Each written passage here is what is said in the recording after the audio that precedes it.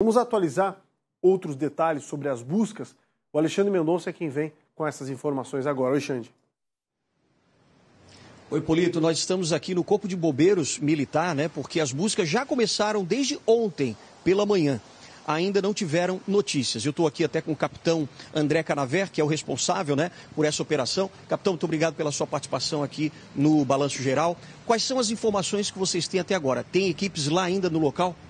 Exatamente. As nossas equipes ainda estão com embarcação, realizando as buscas no mar. E no período vespertino, a aeronave vai decolar e fazer sobrevoo também. Um helicóptero agora à tarde também vai trabalhar. O avião de asa fixa, né? Isso. Existe alguma hipótese, por exemplo, com que os bombeiros estão trabalhando de desaparecimento ou de algum outro problema que possa ter acontecido?